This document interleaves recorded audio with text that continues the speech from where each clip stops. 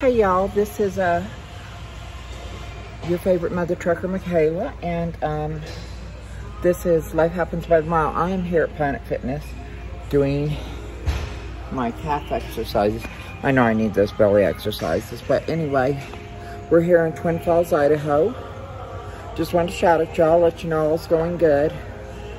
I'm still waiting for a few things before I can go set my surgery date, but it's going to be sometime at the end of August, beginning of September.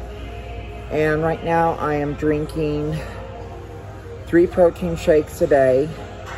I'm snacking on those little cheese uh, cracker things, um, like Whizzes or whatever they're called. You get them at Walmart in the deli. And um, having a piece of meat at night, whether it's a piece of chicken or a steak about four to six ounces. But when the actual countdown and liquid diet happens before the surgery, I will have, be on liquids and I'll let y'all know what it's all about.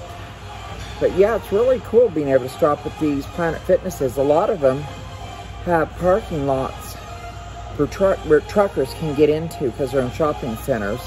You just put in the Planet, look at where you're going to stop, pull up the town, put in Planet Fitness, Go to satellite, check on them. Go to satellite, see if there's any trucks parked there.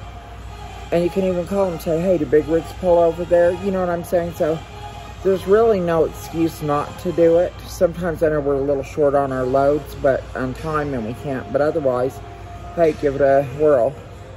Like I said, I'm working on legs, working on my calves right now, and then tomorrow, day after, I'll do upper body again. And of course, cardio every day.